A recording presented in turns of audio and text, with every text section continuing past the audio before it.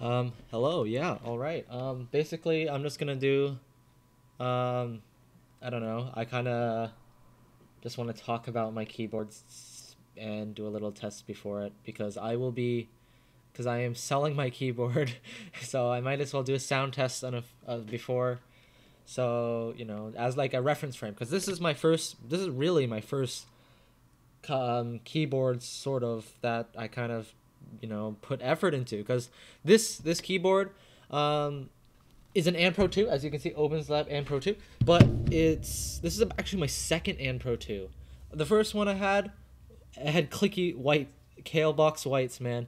And you know back then it whatever. They're actually a good clicky. They're actually very good clicky. One of the uh prob- definitely because you know box clickies great clickies. It was a light clicky and it clicked twice. Very tactile. A lot of noobs liked it. A lot of my friends liked it. But uh, this one, I wanted to actually like fully put a lot of effort into. This, I got Anne Pro 2.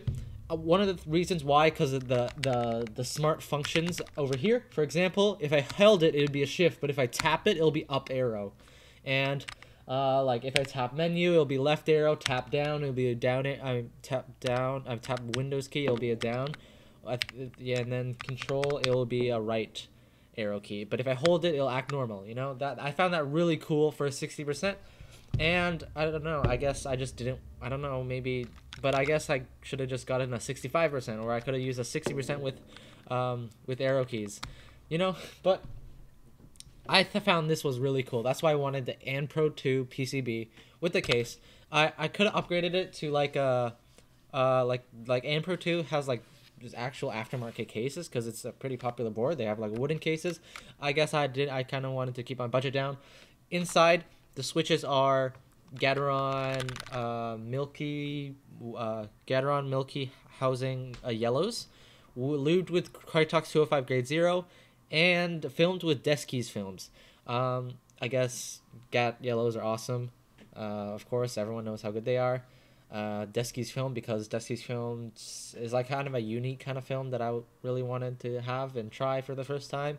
One of the things that I didn't do was I didn't like pre-cut the films like because there's like a it's like a box thing and I guess it's good to cut those. But back in the day, I guess back when I made this, that wasn't really too well known. Uh, but I guess you can hear maybe the stem brushing up against it, uh, if depending how I, well I placed it. But uh, and also the keycaps are Taihao cubic profile, ABS, and I guess they have a little old retro look.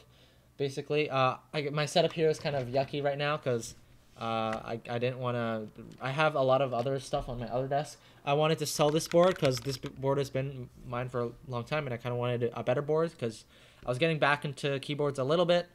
And oh my god, the Windows notifications. Hey yo, shut up. Okay. Um, but uh, let me let me just let me actually just going. Yeah. All right.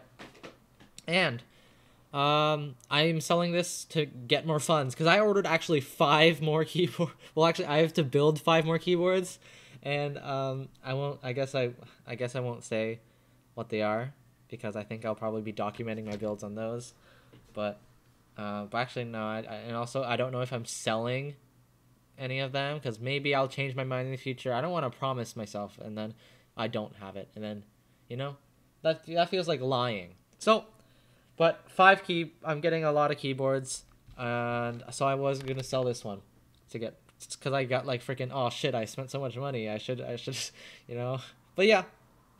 Uh, first we're gonna start. Uh, one of the things did oh yeah I also kind of foamed uh, modded it. I didn't do any other stuff because back in the day I guess there wasn't much other. I, I, I forgot if I band-aid modded the the stabs, not Holee modded but like on the PCB. I don't think there was Holee Mod back when I, uh, uh, you know, back in like whatever year, when I when I did it. But yeah, of course. Oh yeah, I did go through all the desoldering process. That was a hell. You should not do it, you know. But it was very fun. This is a very board that I was really proud of because I basic this basically has no resemblance, no same parts to the Anne Pro 2 except PCB, uh, and stab and case, and you know that that's really it.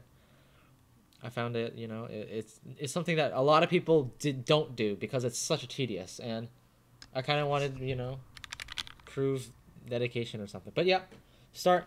I uh, foam instead of foam, my friend and I both we both uh we both um we we had like a group buy thing and he got like some car dampening material. It it, it definitely mutes the sound a lot, so uh, maybe if I used a different sort of material, it would have muted it less and made it, you know, had maybe better acoustics. Because if you hear here, it's it's not the greatest sounding. I'm not too proud of the sound per se because I guess um, it's very filled. I used two layers. Maybe I should have left it uh, one layer so it could actually have some sound in the case that could you know come out whatever instead of being pretty muted. So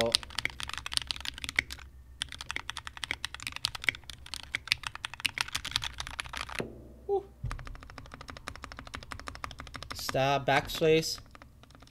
Before I had some, I just cleaned it out and I just added some lube, uh, some dielectric grease. I mean, to the back because uh, you should, you could do that every time it gets, if it, if it eventually gets rattly. Uh, now it's a little better. It's not, I would say it's a little bit mushy though. I should have definitely, I did not tune the stabs. Back, I guess, when I made it, I did not tune the stabs. So that's kind of tragic. Uh, I mean, so I did not tune the wires, and I did not Holee mod it or anything. I guess if people do that, or, and I did not. Uh, I guess I don't think I clipped. I don't think I clipped the stab correctly back back too. I might have held like a nub, so that's tragic. Although, right now.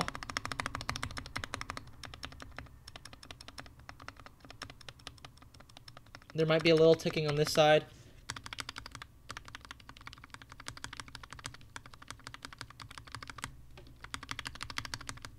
This one is a little lighter, per se. There's a little ticking on the on the right shift. On the right on the left side.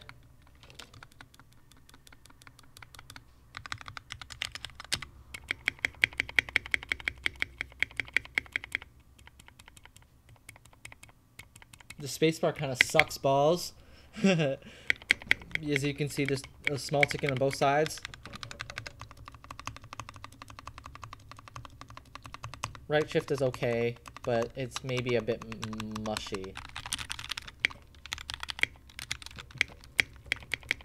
And when typing,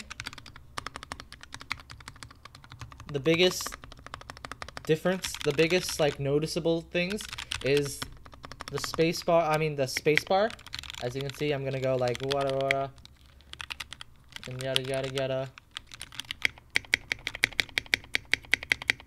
You know, it's a very different sound.